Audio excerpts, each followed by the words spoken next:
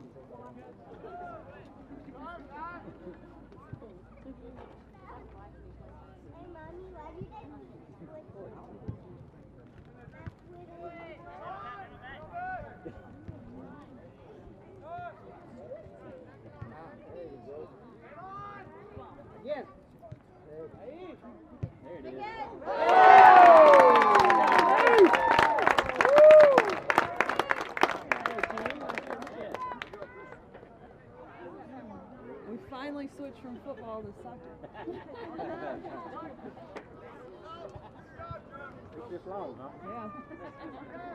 A 12 game warm up.